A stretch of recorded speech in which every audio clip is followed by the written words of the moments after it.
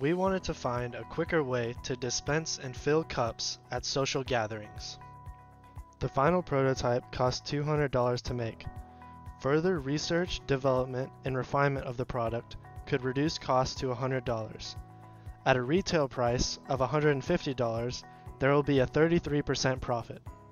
Three designs were analyzed in the creation of the cup dispensing prototype. All designs contained a 7 to 1 gear train to gear down the motor. The first of the three designs was a 4 bar crank rocker linkage.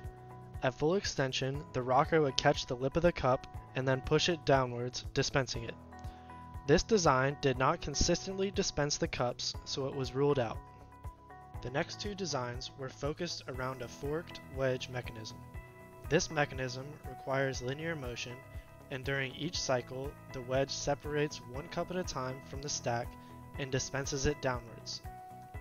The two methods tested to achieve this linear motion were a cam and a 3-bar slider crank mechanism. The cam mechanism was ruled out because the force needed to keep contact between the fork and the cam would interfere with the dispensing of the cups.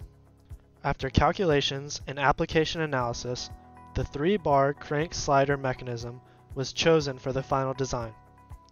For simplicity, one of the bars was integrated into the gear train, thus requiring only one physical linkage. We found some difficulties in the cups falling over after dispensing. It took a lot of trial and error to fine-tune the machine. To perfect the device, we plan on refining the design by increasing both the efficiency of the machine and of the materials used. Thank you for watching.